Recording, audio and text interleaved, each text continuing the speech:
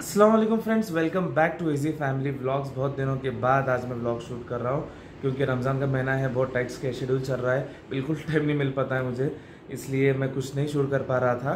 तो आज मैंने कैमरा उठा लिया है और शूटिंग स्टार्ट किया है क्योंकि आ, कल एहसन का पहला रोज़ा रहेगा और उसका सेलिब्रेशन रहेगा दावत रहेगी। तो उसकी सारी तैयारी आज करके रखनी है कल छुट्टी है।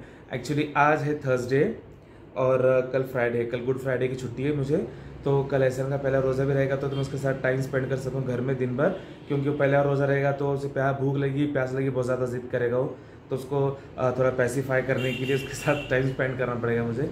तो कल एहसन का रहेगा पहला रोज़ा और उसकी दावत भी रहेगी तो उसकी तैयारियाँ करने के लिए आ, मैं आज कॉलेज से जल्दी आया हूँ अब मैं ऐसे को लेकर जाऊँगा मार्केट में जाकर कल की सारी तैयारियाँ जो भी जो कुछ भी हमको चाहिए सब कुछ खरीद लेंगे आज ही।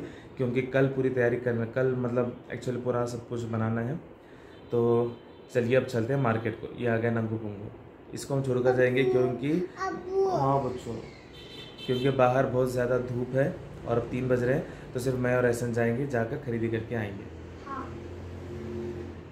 हुआ किधर नहाने का? वो देखो फ्रेंड्स कैसे नंगा आकर खड़ा है वहाँ पर नहाकर। कपड़े पहने फिर के नंगाने वाला है मेरे साथ तू? जल्दी कपड़े पहन। सबसे पहले हम लोग गए करीम भाई की दुकान पे और वहाँ से हमने लिया है सारे खड़े मसाले, बिरयानी के मसाले और ड्राई फ्रूट्स जो कल लगने वाले हैं। उसके बाद में हम लोग गए मेन मार्केट में और वहाँ से हमने लिया है सारा कच्चा मसाला जैसे प्याज, टमाटर, नींबू कोतिम्बीर पुदीना वगैरह वगैरह। और रह जाता है सिर्फ़ गोश्त और दही जो हम लेंगे कल सुबह में।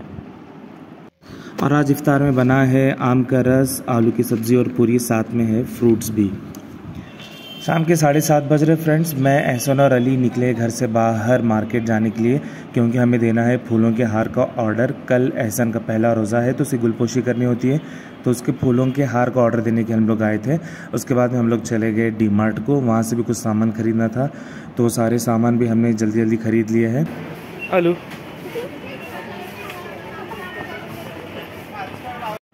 डिनर का टाइम हो गया फ्रेंड्स और आज डिनर में बना है। मसाले बैंगन खीमे का सालन चपाती और चावल।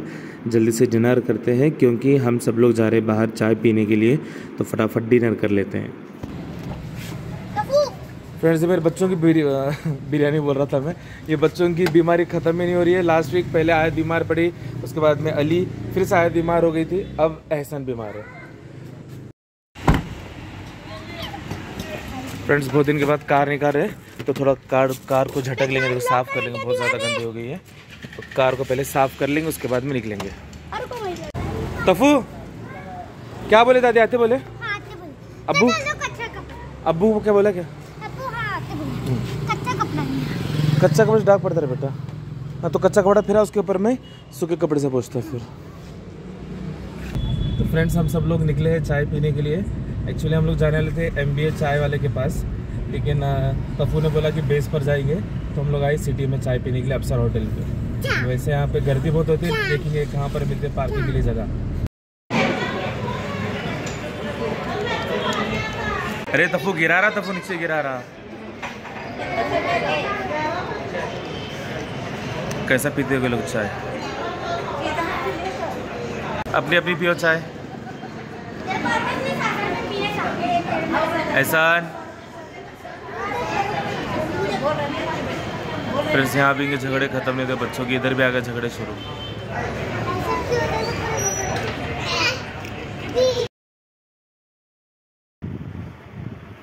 एहसान। ए बेटा आज पहला रोज़ा रखने वाले ना? अस्सलाम वालेकुम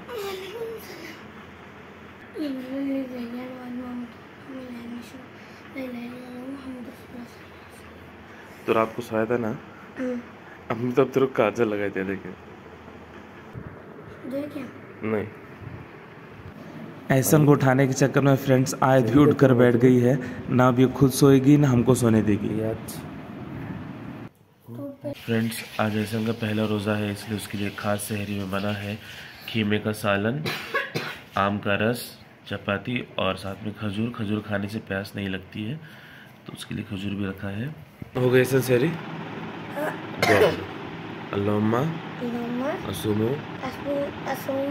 गदलका गदलका फगफिरली फगफिरली मा कद्दमतु मा कद्दमतु अखरतु मा अखरतु अखरतु। अखरतु। अब शाम को इफ्तार तक खाना नहीं खाने का हाँ। पानी नहीं पीने का हाँ, और बदतमीज़ी नहीं करने का हाँ, गाली गलौज नहीं करने का हाँ। तमीज़ से रहने का। बाहर खेलने बिल्कुल नहीं जाने का। बाहर खेलने गया तो प्यास लगती। हाँ नमाज़ को टाइम पर जाने का कुरान भी पढ़ने का खाली नेक अमल करने का। समझ में आया क्या? अब फजर की नमाज़ को जाएँगे। फजर की नमाज़ के बाद आकर वापस सो जाने का। जाएँगे नमाज़ को?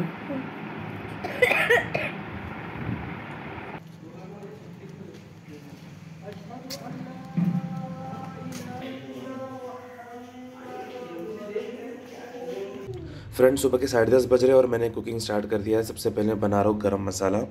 तो उसके लिए सारे खड़े मसाले मैंने निकाल के रख दिए हैं। अब अपने हिसाब से खड़े मसाले डालकर मैं इसमें भून लूँगा और इसको पीस कर इसका बिरयानी का पाउडर बना के रख दूँगा, क्योंकि सात किलो बिरयानी बनानी है। बाहर का मसाला परवड़ेगा नहीं और उसके अंदर ज़्यादा जायका भी होता नहीं है। ये घर का मसाला होता है, थोड़ा भी डालो तो भी ज़्यादा टेस्ट आता है।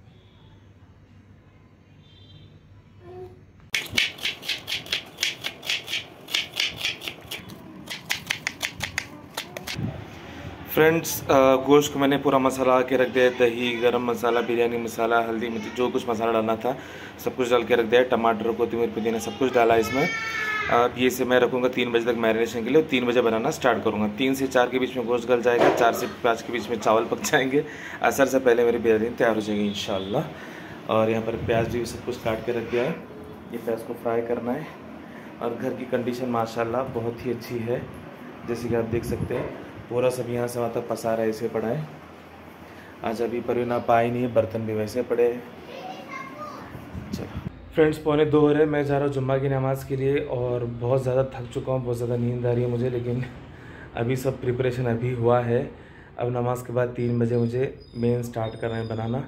फिर इफ्तार के लिए भी तैयारी कर रहे हैं, अभी फूड्स वगैरह तो सब लोग कर लेंगे अंदर, लेकिन पूरा सेटिंग अरेंजमेंट करना है। लेडीज़ को काम पर बिठाना है जेंट्स को काम पर बिठाना है। और फिर हाथ काम पर धोने के इंतज़ाम, सब कुछ अभी अरेंजमेंट करना है। चल रहा है अभी। मुझे बहुत प्यास लग चुकी है ऑलरेडी देखें अब क्या होता है। तो फ्रेंड्स अब मैं कुकिंग स्टार्ट कर रहा हूँ। तो चूल्हा ला के लगा दिया है, पतीला चढ़ा दिया है इसके ऊपर और ये पतीला बहुत छोटा है। इसमें सिर्फ़ पाँच किलो बिरयानी बनती है। इसलिए पहले इसमें गोश्त गलाऊँगा, फिर इसका आधा गोश्त निकाल कर दूसरे पतीले में डालूँगा उसमें, फिर आधे चावल उसमें, आधे चावल इसमें। मतलब दो डेग बनाऊँगा। मतलब बरतने में भी आसानी होगी, ठंडा भी नहीं होगा।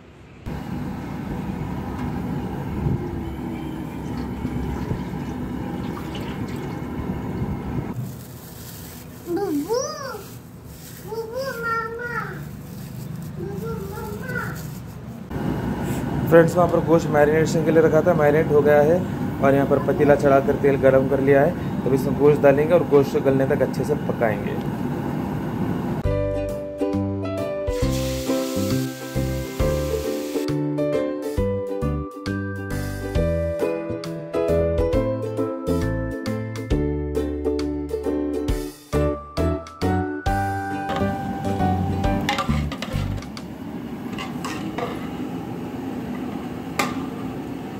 खाली मत डाल बेटा। गरम है।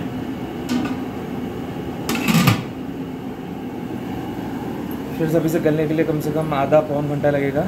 बार बार चेक करते रहेंगे और उसे मीडियम फ्लेम पर अच्छे से दम पर गोश्त को पकाएँगे। चार बजे तक ये गल जाएगा गोश्त। फ्रेंड्स चावल पकने के लिए रख दिए हैं। गोश्त गल चुका है तो इसको मैंने दो पार्ट में डिवाइड कर दिया है।